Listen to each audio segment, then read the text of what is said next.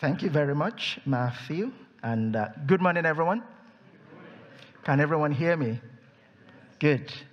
Thank you for coming this morning, uh, nice and early. Uh, hope you've had your breakfast and uh, or tea or coffee, whatever it is you need to have to get you going this morning. So, for the next one hour, we want to look at a critical subject, which is also an emotional one, and one that often a lot of people find very controversial. But I think what I want to do this morning is just to help us to reflect on this subject, uh, looking at it from a perspective of theology, history, anthropology, and sociology. And the reason why I want to do that is just to ground some thinking in sort of how we engage this conversation so that we can move forward. Now, when it comes to the issue of race, evangelicals are very slow to that conversation. That is the starting point. I just need to say that out and loud. When it comes to the issue of race, evangelicals are very slow and reluctant sometimes to that conversation uh, for various reasons. So it's not one of our strong points, let's just say. But why is that? Uh, why is it that we, we struggle to talk about issues of race? And I think sometimes when we look at it from an American perspective, th- there is a way we can say, well, Americans have lots of problems. They have lots of issues. Of course, they do. Uh, anyone who is familiar with the history of the country will realize why Americans have a lot of history and why there's a problem around that. But for us in the British context, I think there is a way we can look at America and look at it with all its flaws and all its problems.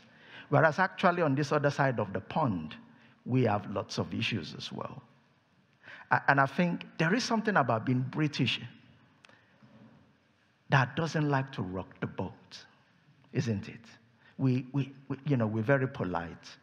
And so we don't, issues around, there are some topics that it's just like a taboo. One is finances. Oh, we just don't talk about money. That's one. Another is race. Oh, no, no. Uh, that's just too complicated. So let's avoid it altogether.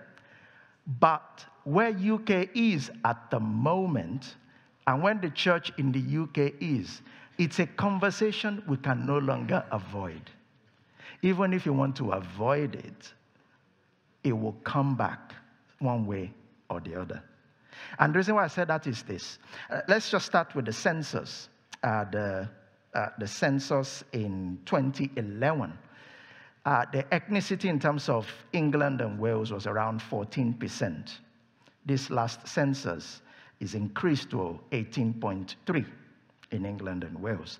But actually, I think that's an estimated number because I'm very much convinced that not every person of color put down their details in the census. If everyone does that, I think the numbers will probably shoot up to around 25%. So, issues around ethnicity is growing in the UK. And oftentimes when we talk about this conversation, people say, oh, yeah, but that's only in London or Birmingham or Liverpool or the major cities in the UK. Yes, that's true, but people are moving out because London is expensive. Uh, many of the major cities are expensive, so people are moving out to rural areas, to countryside, to different places. So, and at the moment, I'm having, I work for the Evangelical Alliance. I lead a network called One People Commission which basically brings together different church leaders African Caribbean church leaders, African church leaders, South Korean church leaders, Chinese church leaders, and Latin American church leaders, and white British church leaders. So it's, it's quite an exciting initiative that I lead, traveling around the country, meeting different leaders. About two weeks ago, I was in Milton Keynes speaking to about 100 Chinese pastors who have been in this country for a while, and the new ones who have arrived from Hong Kong, the Hong Kong migration in that sense. So one of the conversations I'm having at the moment is a lot of pastors are calling, not from the major cities, from rural areas. And what they're saying is this Israel, can you help us? We've just got a black family that's just moved to the area, and they started coming to the church. We don't know what to do. So that is happening. Or we just have an Asian family, or we just have Hong Kong migrants started attending our church. How should we respond? So, migration is bringing people in.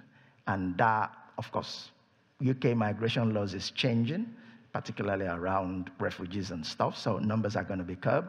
But nevertheless, those who have come in already, they are moving. People on the move, they are moving around.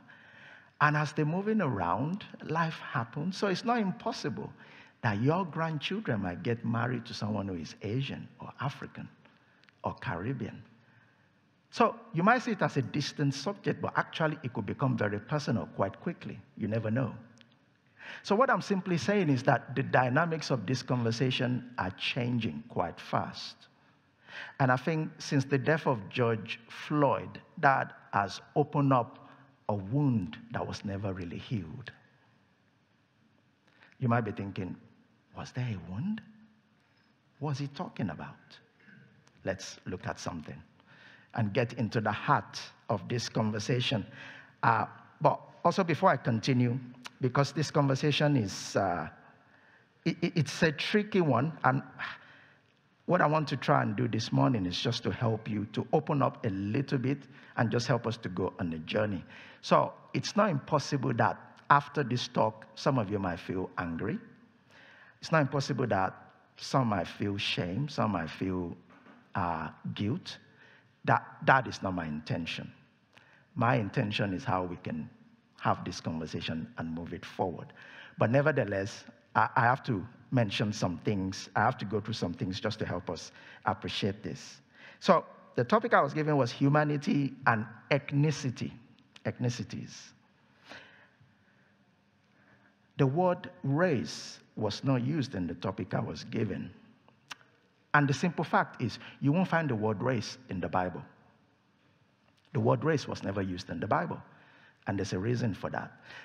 The Bible uses the word or the word ethnos or ethne, which means which is where we get our word ethnicity from. The other thing that the Bible uses is laos, which means people. So when Bible talks about people of God, laos. So those are the kind of words that the Bible uses. So hence we're talking about uh, humanity and ethnicity. But I want to look at that through sort of because we're talking about being human. I want to look at it through four images. One is the image of God, and then the second one is European image, and then the third one is I'm using the continent of Africa as an example. Uh, I can use Latin American as an uh, example. I can use Asian as an example, but I'm using African as an example in this case. So forgive me if most of my references is looking at the continent in some ways and the impact in the British context. So the third is African image, and the fourth one is what I'm calling intercultural image. So we're going to look at it through these four images in that sense. So, as I said earlier, the word race is not found in the Bible uh, because it's not sort of an issue uh, in that sense. God created one human race, one humanity. That is the starting point of any conversation. So the doctrine of creation opens us up to this idea of one humanity. God didn't create races or racism. That wasn't God. God created one human race. And I think that idea, that imago Dei, that doctrine of creation, that God created male and female in his image. Few things that we can derive from that understanding is equality of all, irrespective uh, of who we are. God, because God created us one humanity, there is that equality of all. We all share in the image of God. There is also dignity uh, in that sense. Every human being deserves dignity, and also respect. Now, these are ideas that, of course, UN has nicked from the church. Uh, so, but that's not the subject of today uh, in that sense. But this doctrine gives us this understanding and this holistic idea of humanity, one human race. There is an African philosophy that brings this doctrine out in a very powerful way. It's called Ubuntu. And Ubuntu simply says, I am because you are. So it's simply saying that we do not exist in isolation, we exist in a community. It's not like the French philosopher that says, I think, therefore I am. And so that Ubuntu gives us an understanding of our interdependence, not our independence. Uh, in that sense. And I suppose one of the struggles in the Western world is that we are very independent. Uh, because life and our worldview is premised on individuality, individualism in that sense. But God created us to be relational. God created us to be equal, to relate to each other very well. So that is the starting point uh, in that sense, in terms of conversations around the image of God. And so the image of God or the doctrine of creation is where we can ground our understanding of unity because God created one human race.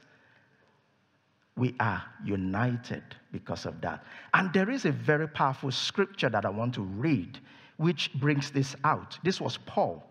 Uh, you guys are Bible scholars. Paul in Acts chapter 17, uh, verse 26, was wrestling with these ideas among Greek philosophers. And it says, From one man he made every nation of men that they should inhabit the whole earth. And he determined the times set for them and the exact places where they should live. Paul says that from one man, God made every nation. But actually, when you look at the Greek translation, there are some Greek manuscripts that actually didn't have uh, the word anthropos, which is the word humanity or man in there, is got a different word. It's called hamartia, which is the word for blood. So another way you can render this text is actually from one blood, God made nations of men. From one blood.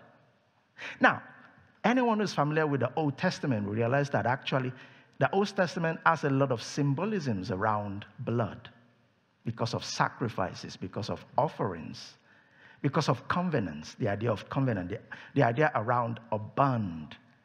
So perhaps this text, maybe there is something that is saying around from one blood, that again, reminding us of something that we share together. Because our blood looks the same our blood looks the same. And there is something powerful about that, that God created us to be one, but not uniformity. Unity is not uniformity. Despite the fact that God created one human race, that humanity is expressed with different physical features, different skin pigmentation. My wife is white British. And one of the things we joke about is the shape of our nose. I've got an African nose, a West African nose. It's flat. My wife's nose is very English, it's very pointy, it's very different. Why would God do that? There's a reason. Despite the fact that God created one humanity, that humanity is expressed in different ways. That is the beauty of creation, the beauty of God's world, the beauty of the humanity that God created. And so that humanity is expressed in different ways. But one of the doctrines that I think actually brings that ethnic difference out very powerfully is the doctrine of the incarnation. We will talk more about this towards the end. The incarnation of Jesus brings out that ethnic difference. Why? Because Jesus was born in a particular culture, in a particular time, in a particular region, speaking a specific language. And so the doctrine of incarnation gives us the bridge into understanding ethnic difference. So we must look it together the doctrine of creation and the doctrine of incarnation. Doctrine of creation gives us that idea of one humanity, one human race. But incarnation helps us to understand the specificity of each person. And that is very crucial in this conversation. But as I said, we'll, we'll talk more about this uh, as we continue towards the end. But then we must ask the question how did we go from humanity being created in God's image to humanity being reshaped in the European image? That is an important question that is being asked today by different aspects of our society, by different people, by a lot of young people. And so there is the need for us to revisit history, to understand certain pains and trauma that is happening in today's world. And as I said, the death of George Floyd opened up questions around this for a lot of people. I remember when the death of George Floyd happened, even though it happened in America, it didn't happen in the UK, it didn't happen in any European city. But what that did was for a lot of people of color, some of the deep seated issues that they've been wrestling with came up. Because there was an identification with something here. There was an identification with pain, with trauma. And so that came up. And so a lot of people are revisiting this question in different ways. And so questions around Black Lives Matter is one example. And I know it's very controversial, so I'm not going to talk too much about that. But that's one way that question is being expressed. And I think as a church, if we dismiss this question, what we will be doing is we will not be able to go on a journey to build God's intercultural kingdom in Britain. And so even if we don't agree with everything, there is the need to listen and to understand a bit of that. So, how did we go from that image of God to a European image? And I think this is where it's important to look a bit of mission history. Modern mission history started around towards the end of the 17th century. There was, do you know there was a time in Europe where people were not evangelizing? because of extreme form of Calvinism, uh, because of this idea that if God knows those who are elect, if God knows those who have been saved, then there's no need to preach the gospel until someone called William Carey, who founded Baptist Missionary Society. Any faithful Baptist in the house? Yeah, it's always good. I'm a Baptist minister. It's good. It's good to just, just do that. And uh, so William Carey founded Baptist Missionary Society, went to India, uh, founded it later, went to India.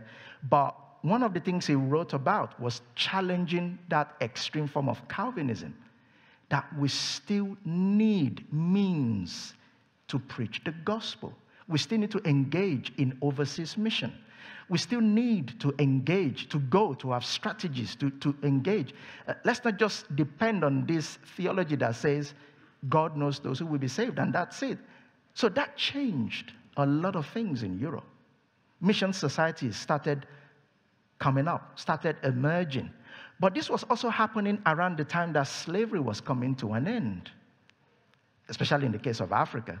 Uh, slavery was coming towards an end. And European uh, powers were thinking okay, we have dealt with Africans through illegitimate trade that is slavery. Let's deal with Africans through legitimate trade. Colonization was introduced into Africa around the same period. So, as missionaries were going to Africa, colonial authorities and clerks were going around the same time. And so, hence, sometimes it's difficult to separate who is who and how, who's working for who. And so, sometimes, in some cases, there was a conflation of authorities, a conflation of personalities, a conflation of personnel in that sense. And the result of that, but also because we're just coming out of slavery and entering into colonization, some of the ideas that were circulating around those days, which were very dangerous, which today we will call it pseudoscience. There was an anthropology that says if you are Caucasian, you are at the height of human intelligence. If you are black, Jews, or Arab, you are at the bottom of human intelligence. There were European anthropologists who created such tables, which is why slavery went on for so long.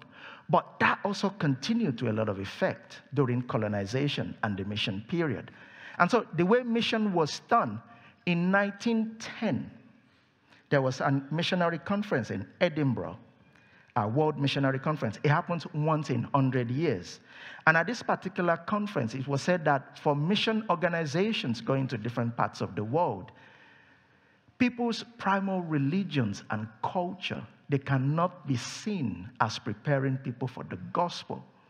So simply means that when you go to a place like Africa, anything African or African religion or culture must be eradicated before you plant and inseminate the gospel. And so a lot of Protestant missionaries went to Africa with that kind of ideology. What was the result? You don't just only become a Christian, you become Victorian. If you see pictures emanating from this period, you will see a lot of Africans dressing Victorian, singing those songs from this particular period eating food from this particular period. The etiquette from this particular period. Think like us. Behave like us. Speak like us.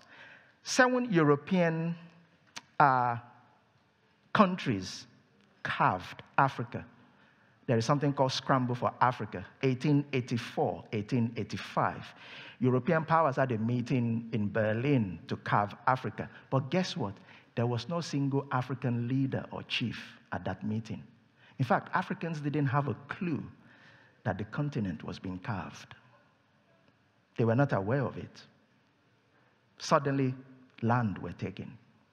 Things change for a lot in that sense.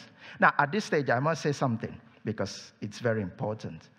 There are those who will look at the modern European mission movement in Africa and we say it was all evil. That's a school of thought. There is another that will say the European mission movement in Africa was all fantastic, was all great. That's another school of thought. I subscribe to a third school of thought, which is European mission movement in Africa is a mixed package. There were some good, but there were also some bad things that we need to talk about, friends. And I know some of my friends will not even agree with that because they'll be like, no, Israel, this is all bad. But when I look at it, there were some good things that were done. There were some European missionaries that went to Africa knowing that they were not going to go back home. They knew that it was the cost of discipleship. They gave it all, went out there, laid all out, and died. Some died of malaria. There was a Pentecostal missionary that went to Nigeria 1937. He died in Nigeria in 1987. And it was through the ministry of this Pentecostal missionary that I became a Christian. So you can trace some of those fruits. And some of our African brothers and sisters can do the same. That's one of the fastest growing churches in Europe today is the Redeemed Christian Church of God. That church started in Nigeria around 1952, but the founder was influenced by CMS missionaries and education. So you can trace a lot of positive stuff around that European missionary movement. But I also feel it's important that we talk about some of the things that went wrong. Why? Because the legacies of some of those things are still with us today. The impact of it, people might think, what happened years ago? Yes, but the impact is still here today. The impact of it is still very much here today. The legacies of those things are still very much with us today in that sense. Do you know that growing up in Nigeria for me, I grew up in Nigeria because I'm from Nigeria, born and bred. In my primary school and secondary school, I was not encouraged to speak my language, Yoruba. Why? I was told to speak in English because we wanted to continue to be like Europeans. I've written seven books in English. Ask me to write one in Yoruba, and I won't be able to do that. I can speak the language, but I can't write in my own language properly because of the legacies of colonization. So, when we're talking about these things, it's not something that happens in the past, and let's leave it there. There is a continuum, there is an impact and a legacy that continues till today. But moving on, what was the African response to that? From a secular perspective, I'm going to come to the African church response, but from a secular perspective, there was the decolonization process. And that is a word that is being thrown around today. But back then, what that simply means was that there were African leaders who felt, you know what, it is time to take our country back. It is time to take our continent back. So they started a lot of conversations, a lot of protest, uh, a lot of uh, agitation, advocacy. Some were using it through the press, through the media, through writings and various things, uh, through their PhDs, some of the people that went to study abroad and so, so on. That led to African consciousness. And even when we use the word consciousness, is interesting. Because when you say someone is conscious, it means, or when you say someone, you know, is conscious, it means you've come back from something. It means you've come back from a coma or you've come back from the dead. So, in a way, colonization and slavery killed Africans. And they had to regain their consciousness, their identity, and the sense of who they are through this process. Decolonization, consciousness, African identity. What does it mean to be African? Because if you're speaking Portuguese as an African, or you're speaking French as an African, or you're speaking Italian, the language of people that colonize you, what makes you African? People start to ask these questions, and that led to African resistance. And finally, from around 1957, Ghana became the first country to become independent of Britain. And 1960, there were several countries that became independent in that sense. But this is the secular uh, response from the church response.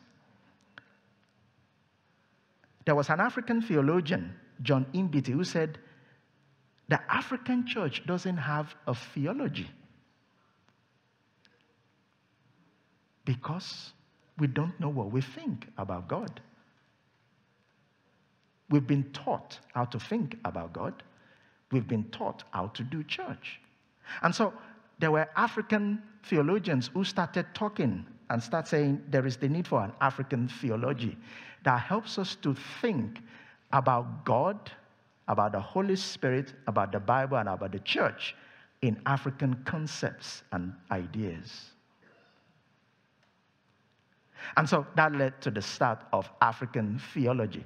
From some of the church's perspective, the question was why can't we use African drums? Why can't we wear African clothing? Those were some of the questions people were asking. Why can't we have African prophets? Those were the questions people were asking. Why can't we preach in our own language? So there was a movement of church called African indigenous churches that emerged at this particular period, asking those questions and saying, you know what, we need African drums. We need to do things in our own language. That emerged.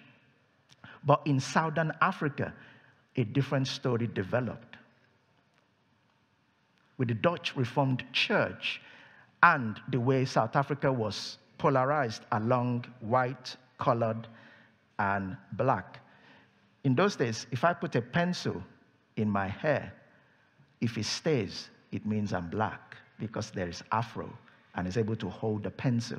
If the pencil falls, it means I'm colored because my hair is sort of mixed or Malaysian or Malay.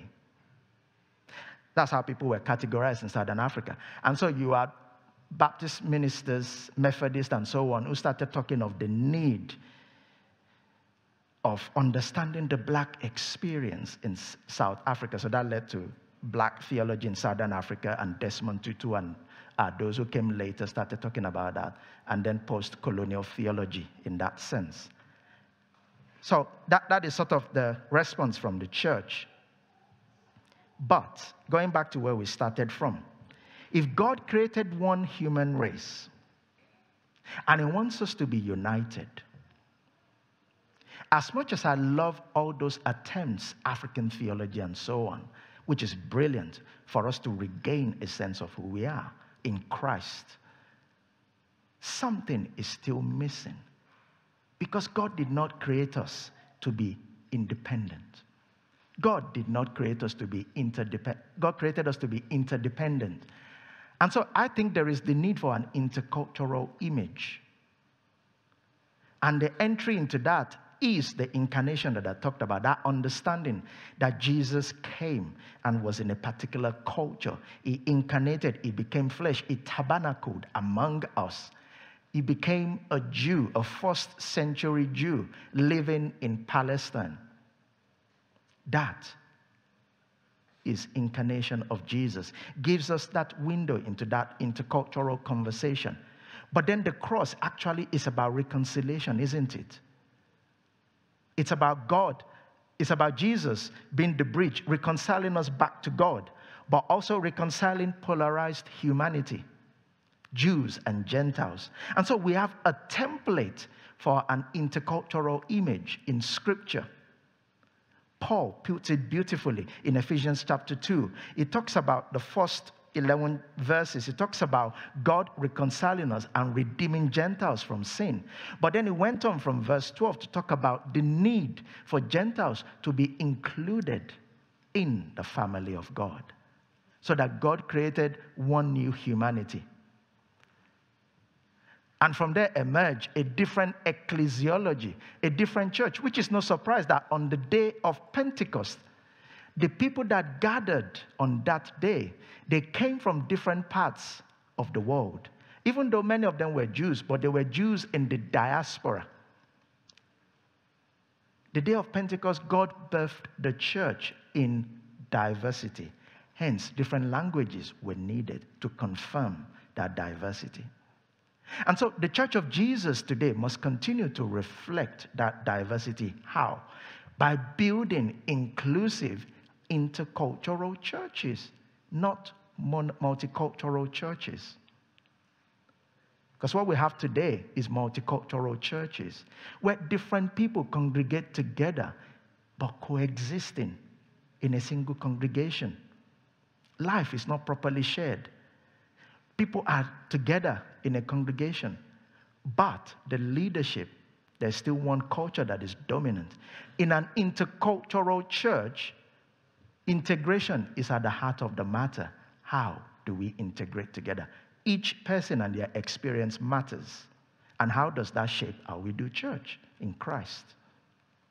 That is the vision we need to work towards today to address issues around racial injustice in the church. An intercultural church, not a monocultural church. So the challenge is this for us. How can we journey from a monocultural church, a single culture church, to a multicultural church, many culture church, to an intercultural church, many culture church, but not assimilating, integrating? Britain is multicultural. And so, if we depend on a multicultural church, how are we going to be countercultural and kingdom oriented? So, we have to rise above and move beyond where Britain is. Because the multicultural agenda in Britain has actually failed. But the church can be that salt and light. How we relate with each other, how we love each other, how we share life together, how we understand each other's humanity, is very powerful for today's context. And we need that desperately and seriously in today's world. I'm going to leave it there so that we can ask questions. Thank you for listening.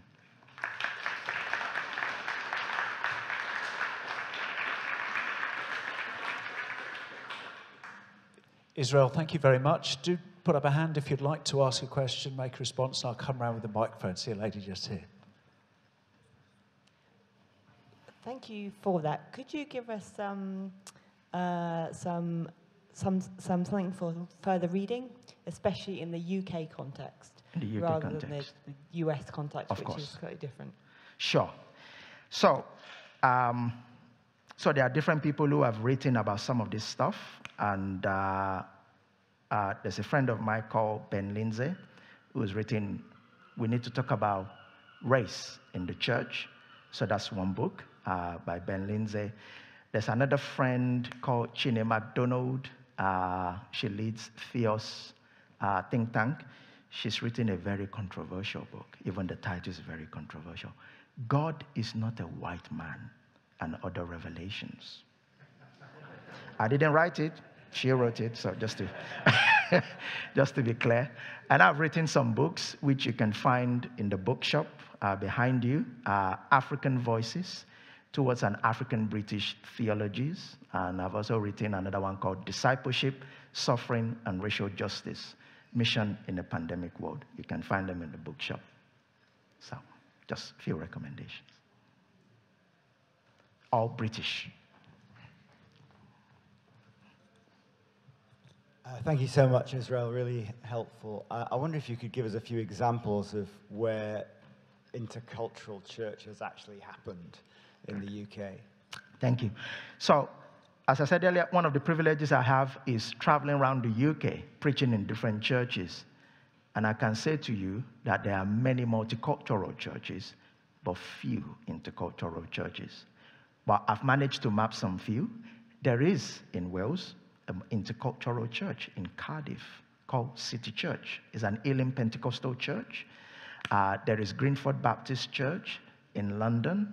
Uh, there is uh, in uh, there is another one uh, called Rose Hill Full Gospel Church, led by a South Korean. This is actually an intercultural church plant, only 18 months old. Uh, so that, that's another one. It's an independent uh, church. And there is also in Birmingham, there are some intercultural churches in Birmingham. Again, Elim, in, in that sense. And then there is in Manchester, uh, there are some intercultural churches in Manchester as well.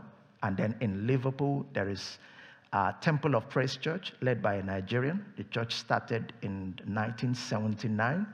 Two Nigerian couple, uh, doctors, and they did an amazing job uh, leading a church, eh, you know, that brought in a lot of white working class families from the 80s, and they've managed to do that till now. Uh, and so the church is truly intercultural Temple of Praise Church in Liverpool. Uh, lovely church. So th- th- there are examples just to let people know that, oh, is this possible? Yes, it is. But it is hard work. It is hard work. But they Um, do exist. Yes. Hi there. Yes. Hello. Hi there. Oh, hi. Hi. Uh, thank you for that. Uh, it's two questions, but it's the same theme. Can you name one thing that a church can do that will propel it, will take the first steps towards an intercultural approach? And then Sure. what can I do as an individual, Individual.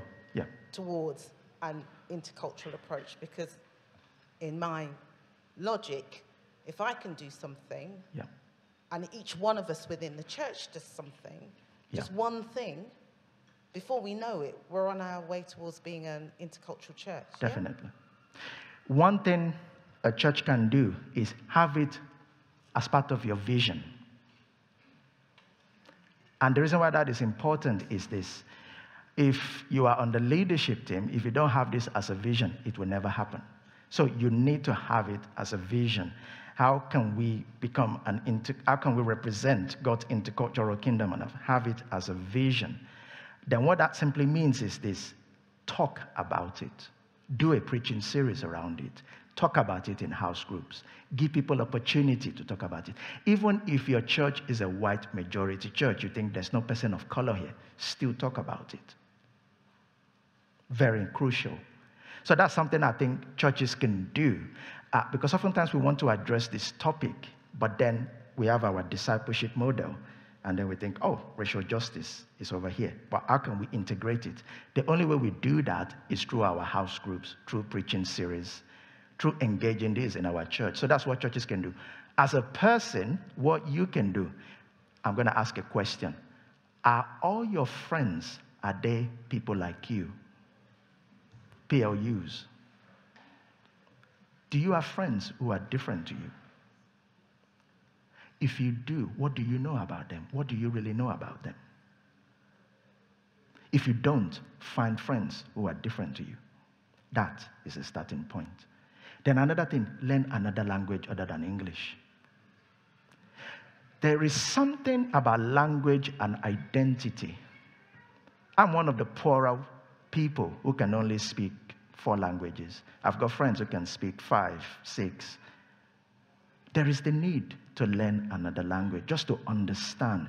Because I think there are times we think, I, am trying to put this in a way that will be appreciated in some sense and not upset people. There is a way we equate intelligence with speaking English. And that, we need to bust that bubble. Because oftentimes people say, oh, I can't hear that person, they've got an accent. Who doesn't have an accent? Even Jesus had an accent. We all have an accent. So there is the need to learn another language to help us to enter into a different worldview. Language is not just semantics and grammar, language is a worldview, it's identity. And when we step into another person's language, there is something, it changes our thinking and our processes. Hope that's helpful. Yes? Oh, over here. Thank you. Um, I'd like to share just a little from our own family experience. Yeah. Um, so, my daughter married a, a Londoner who's of Caribbean ethnicity, and he had always lived in London. Uh, they went to a multicultural big church in London where they were happy. Um, but due to various circumstances during the pandemic, they moved up to Scotland and joined us. They went to what was a growing multicultural church in Glasgow. Um, but some of the things they struggled with and some of the things that people could think about were one, the style of worship. My son in law was used to playing in the band and had his own particular style, which people enjoyed.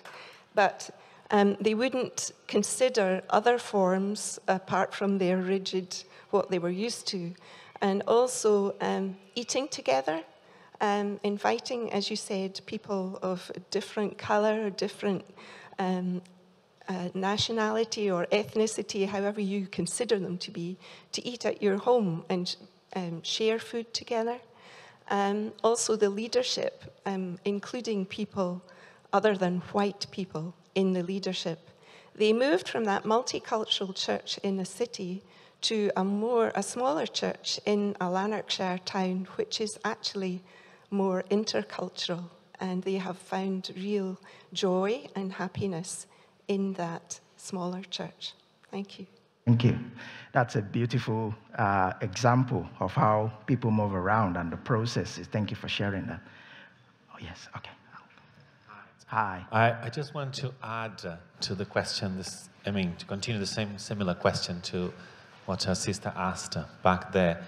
Uh, what would be your advice to us as individuals, not towards, uh, you know, just uh, getting to an intercultural church or helping that in our own churches, but in society? I mean, how do we, as a black man, how would you say to most white people here, how can most white people here talk to a person who is not white, for example, and be comfortable to talk to or start to talk to or to ask the right questions. Most people I know and I try to talk to encourage people don't don't people are scared because people are like, oh, I can't, I don't know the language. I don't know if I can ask that. Can I say that? Or I, am Brazilian, and uh, I ask things sometimes, and people say, oh, you can say that. I, say, well, I can.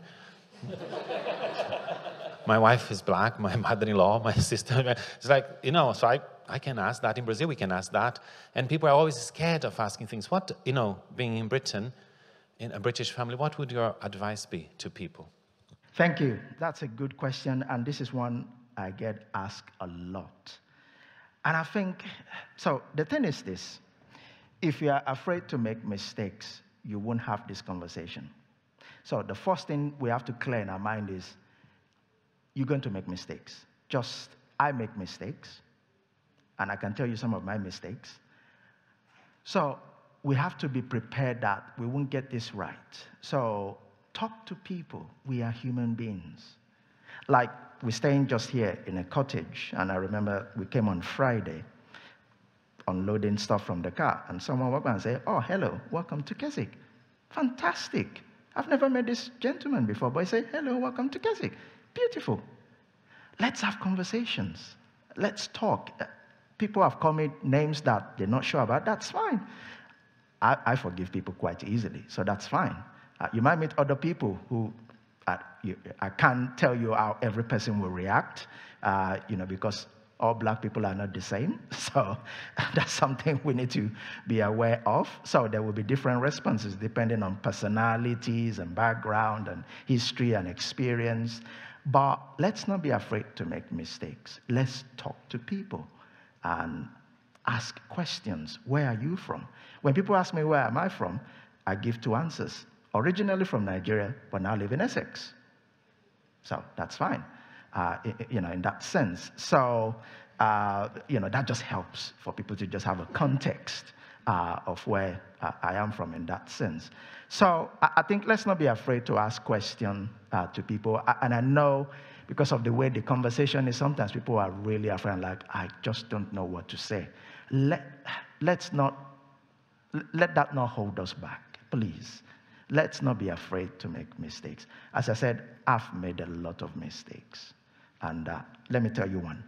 When I was leading a multicultural church in Woolwich in southeast London, there was a couple in church. The wife was Brazilian, the husband was Ghanaian. And there was another uh, single parent uh, mom that started coming to church. She's from Portugal. So I just assumed, well, she's from Portugal, she's from Brazil. They speak language that is common. Let me introduce them and I help the fellowship of this Portuguese lady who's just come to our church. So I spoke to the Brazilian and said, Oh, there's this Portuguese lady who's just started coming. I want to introduce her to you. And she was like, But why do you want to do that? So I was like, Because I thought you speak the same language. She said, But don't you know that they are the ones that colonized us? So I was like, Okay, that's interesting. And uh, I just thought she should have moved on, but she hasn't moved on. But there you go. So, so she was very upset with me that why would you want to do that? So I said, I had to apologize. We make mistakes. Friends, I make a lot of mistakes on this conversation, we must not let that hold us back. We need to talk. So please, don't be afraid to make mistakes. Let's talk. Um, what does intercultural church look like when you're divided by languages? So British people aren't the only monolingual people. You know, I'm, I'm thinking I'm, I'm in a, a church and there, there's a Czech church also meeting there, but they don't speak much English. And there's also a Romanian Roma church there, likewise, don't speak much English. What does an intercultural church look like in that sort of circumstance? Thank you. So the different multicultural churches I've had the privilege of attending, there are different ways that they uh, do church. Uh, one of the best examples I've seen is Greenford Baptist Church, where there are about 45 nationalities represented there. The service is still done in English, but the worship style, sometimes they sing in Hindi, and people will sit on the floor, take off their shoes. Sometimes they will sing Yoruba praise and worship. Uh, sometimes they will sing songs from Latin America, but obviously all this will be translated into English or it will be available. Uh, and again, they do that into every aspect of the service. So while English is still the main language that is being used, there is an injection and an infusion of other languages into the streams, into what is going on uh, in that sense. Um, so that, that's an example of how it looks like. In other contexts, English is still the main language, but what, what is crucial is that everyone that is there is an intercultural leadership. So the leadership definitely it's very mixed uh, and reflects the church. So again, that's another paradigm that is important. And people who are leading worship or doing Sunday school, again, is all very mixed. So basically, you look through the church, what you see in the congregation is what you see in those who lead house groups, in those who lead the whole church or the council or the trustees. It cuts right through, but still using English as a language. But there's a representation that is very strong. That simply means that there's not one dominant culture in that sense.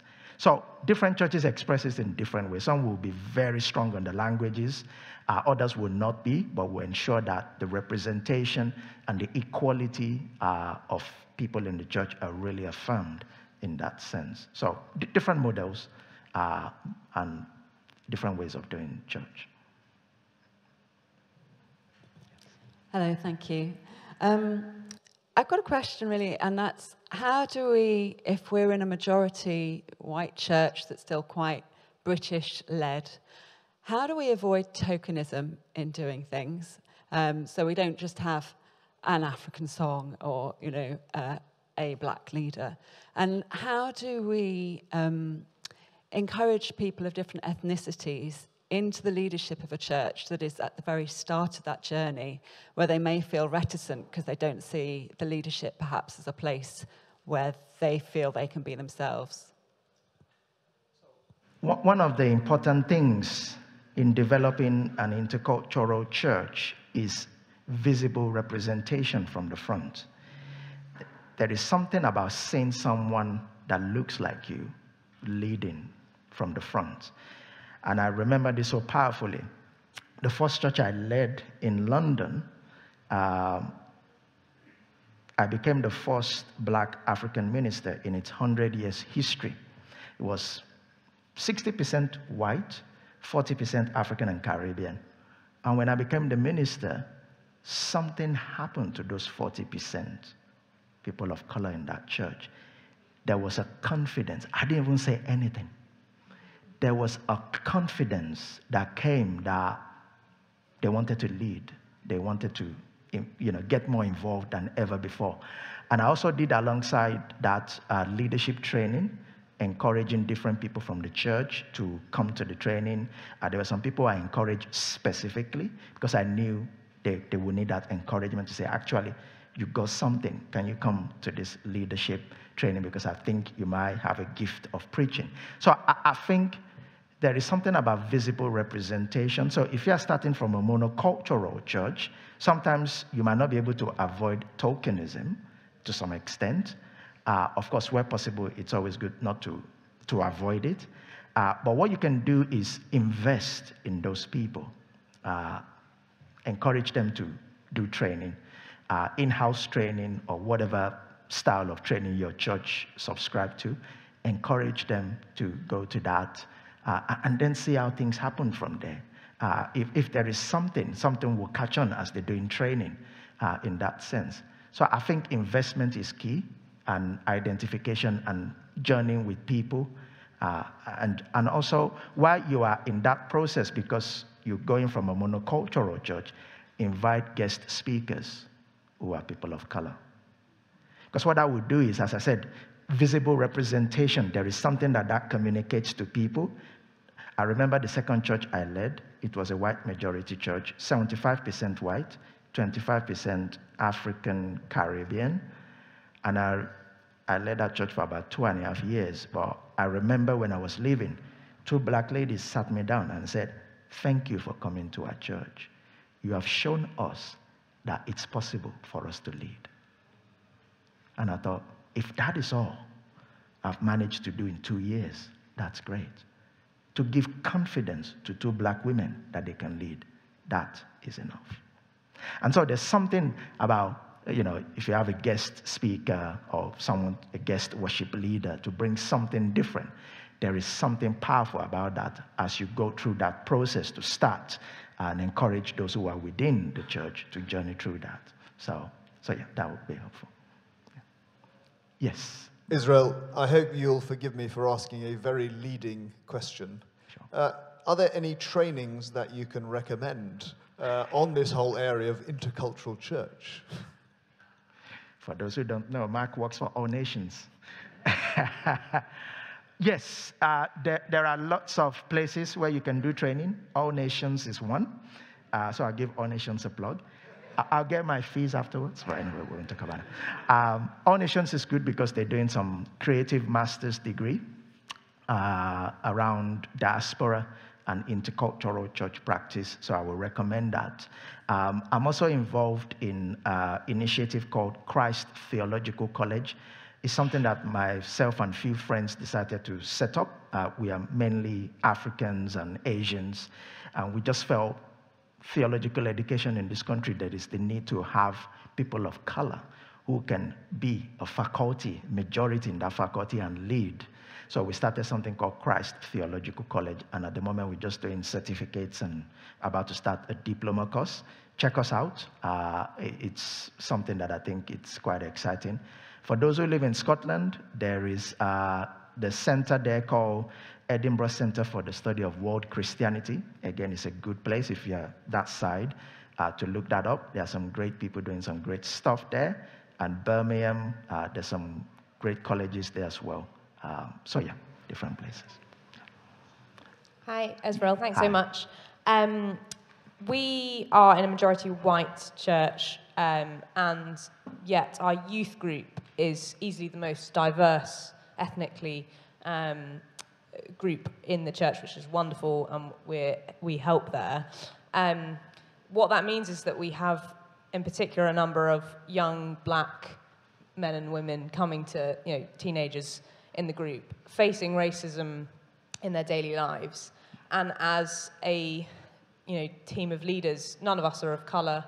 Um, and I- feel the, I don't know, I want to help you, I want to equip you to process these experiences, but I'm just so aware of my own lack. And and to be honest, a lack in the wider church family as well, of, and, and their parents don't come to church. So I just wondered, you know, I suppose the question is, how do majority white churches disciple young um, Christians of colour um, well and kind of give them biblical framework to process the trauma that they experience that, that we don't?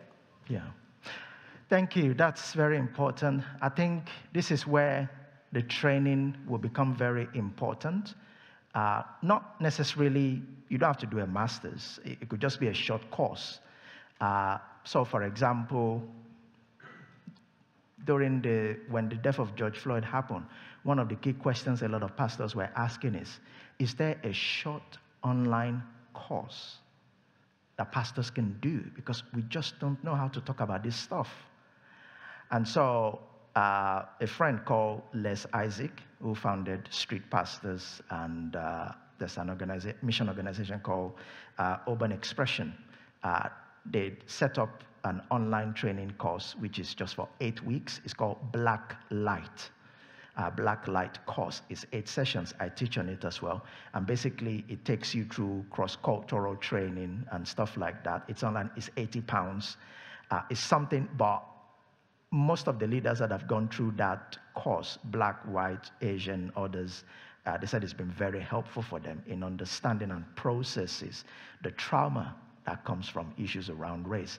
Because the thing is this, I think when people of color experience racism, and it's good they're talking to you, some, peop- some people will not talk about it. Some people will bury it.